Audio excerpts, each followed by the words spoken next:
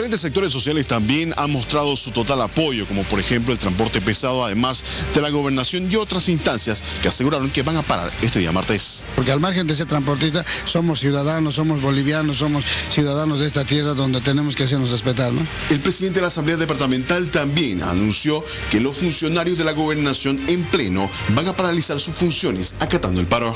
Eh, nosotros estamos planificando las actividades tomando en cuenta las dificultades que puede eh, provocar este paro desde el punto de vista de la movilidad. Se conoció también que esta tarde se van a entregar ya los pases de circulación para los vehículos tanto de emergencia como de la prensa.